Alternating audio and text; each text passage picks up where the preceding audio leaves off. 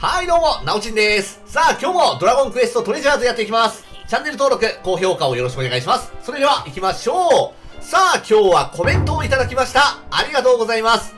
厳選を少し簡単にできる方法を教えてもらったんですよね。これ結構役に立ちました。ありがとうございます。えー、皆さん、厳選をするときって、ちっちゃいモンスターって見えにくいでしょ？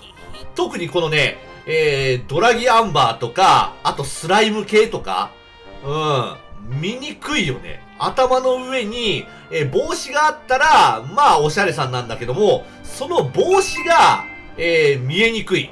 頭の上に、あの、宝箱マークがあるので、すごい見にくいんですよ。で、それをね、見やすくする方法を教えてもらいました。えー、まずね、ホームボタンを押して、戻ってください。そして、設定ですね。そして設定の一番下、本体ですね。本体のところに画面のズームっていうのがあります。これをオンにしてください。多分ね、最初はね、オフになってると思いますので、これをね、オンにします。で、そして、えー、元に戻りましょう。で、これをね、えー、使うんですけども、ホームボタンを2回押しします。そうすると、こんな感じになるんですよ。えー、ズームしてくれます。で、このまんま、えー、ホームボタンを1回押して固定をしますね。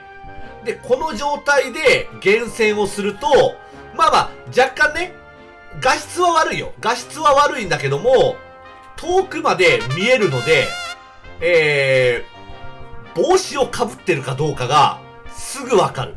今まではね、ちょっとね、時間を置いて、あれ被ってるかな被ってないかなーってね、えー、そういう時間が必要だったんだけども、それが必要ない。もう見たらすぐに、あ、被ってるなっていうのがすぐわかるので、厳選がしやすいです。うん、これほんとね、見えにくいのよ。ドラギアンバー、特に。うん。あと、翡翠スライムもね。あと、パールとかも見にくいよね。ああいうのの時に、この、ズーム機能を使えば、えー、厳選が若干簡単になります。まあ、出る確率っていうのは変わんないんだけども、えー、見つけやすい。うん。この目が疲れにくいっていうのがいいですよね。ほんとこれ俺ね、結構目が悪くって、画面にね、顔を近づけて、えー、確認してたんだけども、それが必要なくなったので、これはね、えー、だいぶストレスが緩和された感じです。まあ、もう少しね、いいやつが出てきてくれたらいいし、まあ、このズームしなくてもね、あのー、出てきた瞬間に、なんかエフェクトが出るとかさ、キラキラキラとかなるとか、そういう風にしてくれれば本当にいいんだけど、まあ今の現状では、このね、えー、ズーム機能、ものすごい使えます。うん。今からね、厳選するっていう人は、ぜひこのね、ズーム機能を使ってやってみてください。このね、疲れが、疲れとストレスがね、ものすごく緩和されるので、超おすすめです。はい。で、えー、やめるときには、えーと、ホームボタンを2回押しか。そうすると元に戻すことができますね。うん。まあこれ、ホームボタン2回押しなんで、別にあれはオンにしたままでも俺はいいかなと思います。はい。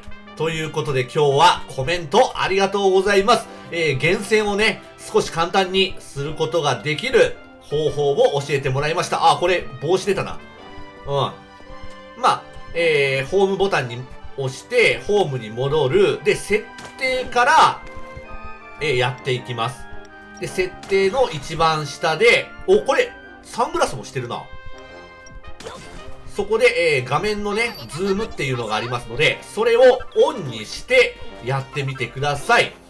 本当にね、目の疲れ、そしてストレスが緩和されますので、おすすめです。まあ、目がいい人は関係ないかもしれないですけどね、俺みたいに目が悪い人は、えー、結構違いますんで、ぜひやってみてください。はい、ということで、またやっていきます。チェックをよろしくお願いします。そして、チャンネル登録と高評価もよろしくお願いします。それではご視聴ありがとうございました。